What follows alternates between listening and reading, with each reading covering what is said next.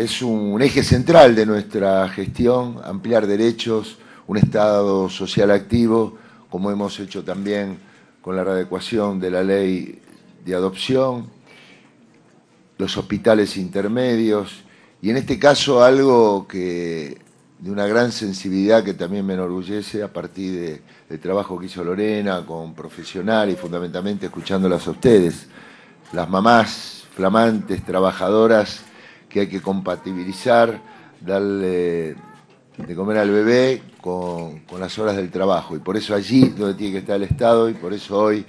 estamos inaugurando, no podía ser de otra manera, en la sede del Ministerio de, de Trabajo, aquí con Cacho Cuartango y todo su equipo, el primer, el primer lactario. La parte nutricional, sabemos lo que después esto genera el rendimiento, como también si aquí hay falencias, eh, luego las consecuencias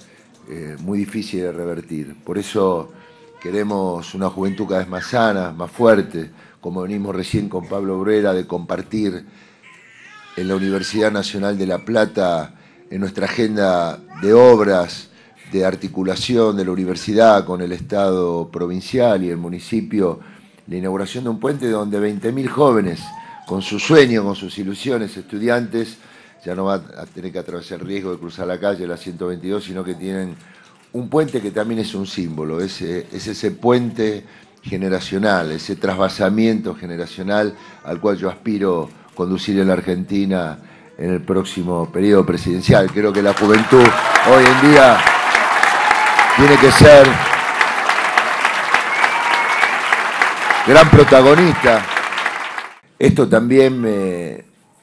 inspira a, contarles brevemente la experiencia de las últimas 48 horas en Cuba, un país cuyo presidente, le contaba recién a Pablo Obrera, ha dicho, es el momento de actualizar el modelo económico para darle sustentabilidad social, económica y productiva. Raúl Castro lo dijo. Momento, buscando una economía más eficiente. Un país que, bueno, tiene la tasa más baja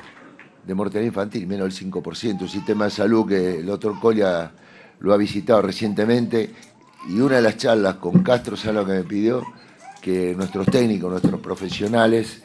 puedan viajar a, La Habana para transmitirle la experiencia de la ley de fertilización asistida, porque ellos allí tienen problemas de, muchas parejas, como ocurría acá, no, pudieron tener el, sueño de, su, de tener su primer hijo y obviamente quieren este. Y así una agenda que, de salud pública muy interesante, muy inclusiva.